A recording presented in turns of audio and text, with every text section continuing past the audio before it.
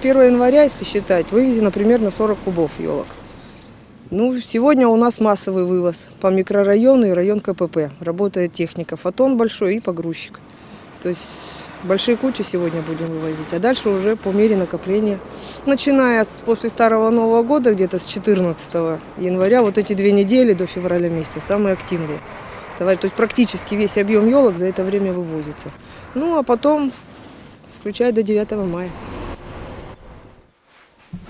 кадров. Можно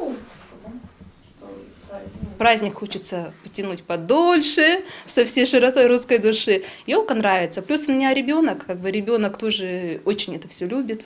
Э, Праздник мы так продлеваем, вечером мы включаем гирлянды, звезду, зажигаем, все красиво. Поэтому елочка у нас стоит долго. Мы решили встретить китайский Новый год. Мне очень грустно, когда снимаешь уже новогодние игрушки, потому что праздники новогодние закончились, и такой же Новый год наступит уже только через, через этот год. И поэтому надо уже будет встречать весну.